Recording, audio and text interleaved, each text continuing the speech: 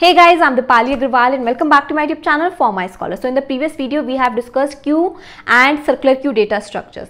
Now we will see a very important data structure that is priority queue. It is very important for your placement and for GATE preparation also. So in this video, we will see the introduction of priority queue, how it is different from other type of queues and uh, the implementation of priority queue. So let's get started. And okay, so we already have discussed linear queue and circular queue if you want to learn these type of queues then uh, you will get the link to these videos in description box below. So now let's come to the uh, concept of priority queue how it is different from linear queue and circular queue so when we studied uh, linear queue and circular, circular queue there were two pointers front and rear okay?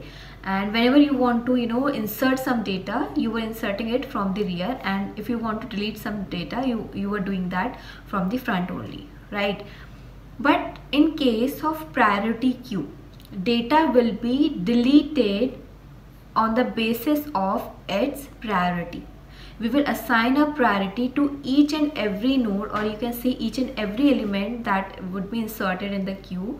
And whenever you want to delete some data or dequeue some data you will delete that on the basis of its priority only. As uh, in case of linear queue and circular queue this was the structure of a node when we were implementing it using a linear uh, using a linked list uh, means there were two sections. First section was containing the data and other section was containing the address of the next node right? But in case of priority queue a node will contain three sections.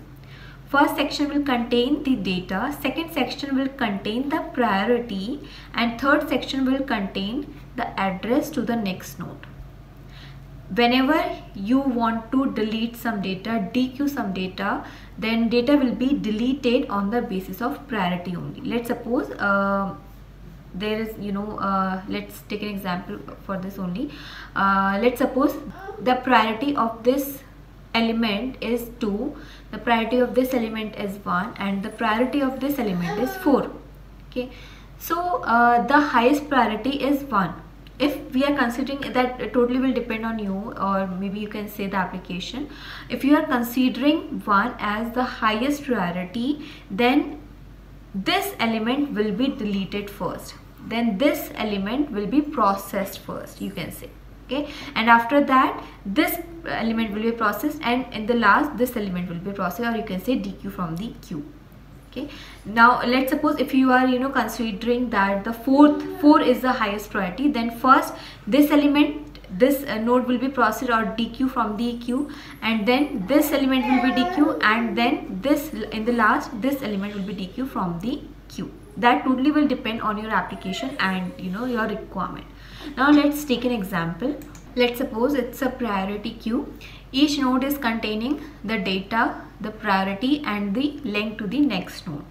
Whenever you insert any element in a priority queue, you will assign a priority to that element and then you will insert it okay? The insertion will be done from the rear only but dequeue process will be different. We will not you know dequeue the element from the front only. We will dequeue the element on the basis of its priority. Let's suppose we are considering one as the highest priority. Now we want to dequeue some data. So what will happen? Uh, it will check for the element that is having priority 1 and then that data will be deleted. And you already know how you can delete a node from a particular location from a linked list. That we already have discussed in case uh, when we studied uh, linked list. If you want to study that uh, topic uh, you will get the link to these videos in description box below. Okay. So uh, here one more thing. As you can see uh, one there are two elements those are having one as a priority. Then which element will be deleted first? In this case the element that was inserted first in the queue will be deleted first. So if you see 10 was inserted first and after that 40 this element was inserted so uh, when you dequeue the data and you want to uh, you know delete the data that is having highest priority then 10 will be deleted. And again if you are dequeuing some data in that case 40 will be deleted and then 20 and then 30 and then 50 on the basis of their priority only. Okay? So this is a basic concept of priority queue. Uh, basically the application of priority queue is in the implementation of heap. We will study a data structure that is heap and we will also see heap sort uh, in that case priority queue will be used. Okay now if we talk about the implementation of priority queue uh, as I already mentioned that uh, after completing queue we will start collection framework. So I'll cover the implementation of priority queue using collection framework only. Okay now we will not see uh, any of the data structure using simple you know arrays and linked lists. Now we will see the implementation of data structures using collection framework okay? That would be very easy and that would be very convenient for you all. And if you want to implement priority queue using normal you know linked list data structures then you can easily do that. Let's suppose uh, we are asked to delete dequeue some data then first this data will be deleted and then this data will be deleted okay? So what we will do we will compare this element from all the elements and then we will see which element is having minimum priority and then date, that data will be deleted from the linked list okay? And which concept you will use uh, you know the deletion of a data deletion of an element from a specific location uh, in case of single linked list. That algorithm will be used okay? And that algorithm we already have discussed in the previous video. During your placement when a problem is given to you you always have a choice that you want to use a simple data structure or a collection framework.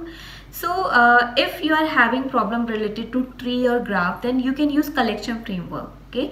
But if you are having any problem related to queue or stack and uh, you know arrays linked list then you should go for arrays and linked list means you can ask from your interview also. If he allows you to use collection framework then definitely you can use that because that's a very easy process.